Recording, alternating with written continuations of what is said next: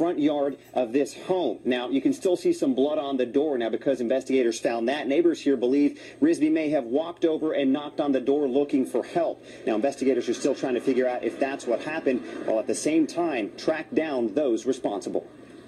Police arrived just after 4:30 a.m. and soon after, the light of the morning revealed blood on the door and news that 18-year-old Dalen Risby died at the hospital. I think it's terrible. Neighbor Donna Bond says she's seeing more and more crime in the area, but it's not just happening in East Nashville. We just wish that something could be done. Risby's death marks the 42nd murder of 2015, an alarming statistic because all of 2014 saw only 41 murders. Now, with four months still left in the year, Nashville is on pace to reach about 60 homicides by New Year's Day.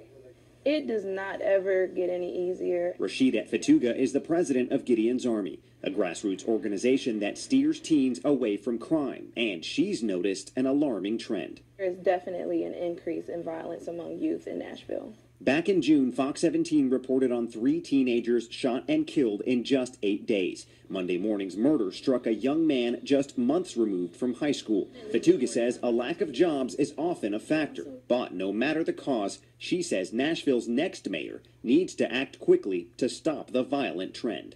We are ready to hold accountable whoever is elected, but it's going to take families, it's going to take the youth, it's going to take the communities but it's also going to have to take our government cooperation.